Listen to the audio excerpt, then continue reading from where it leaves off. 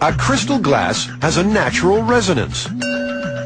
This is the frequency at which it most efficiently turns sound waves into physical movement. Play a glass its own resonant frequency, but loud, and it may move so much that it explodes. They're using lead crystal, as it's the most efficient at transforming sound into motion. This lowest peak here is the is the fundamental frequency, and uh, I'm reading off here 562 hertz. So uh, that's where we should start.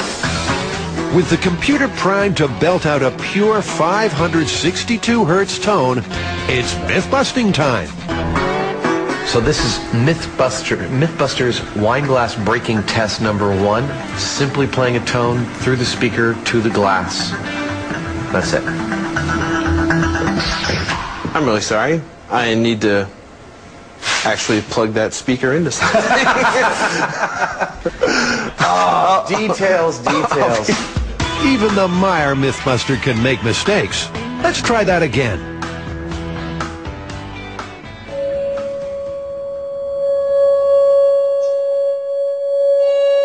Nothing. But in opera, it's not over till the fat lady sings, and Rogers had a harmonious idea. When you listen to the glass, it has many harmonics above the fundamental frequency. And so maybe it's not the fundamental that breaks it. Maybe we need to produce one of those harmonics. Up to now, Rogers just been playing the fundamental frequency. But there are also many other equally spaced smaller peaks, the harmonics. So this time, the computer's set to blast out the full harmonic sound, an exact match of the glass. Adam also throws a straw into the mix to help see if the glass is moving at all.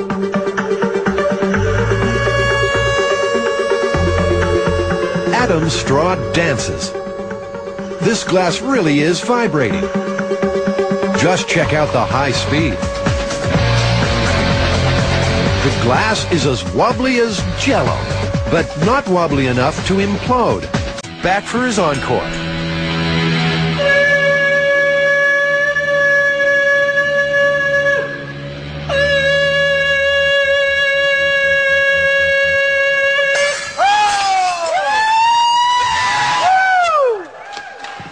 Davey, man, dude!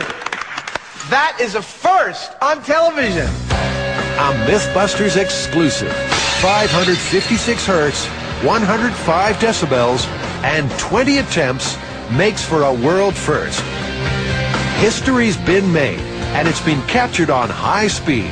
So there's really no need to try this one at home. Well, that's it. We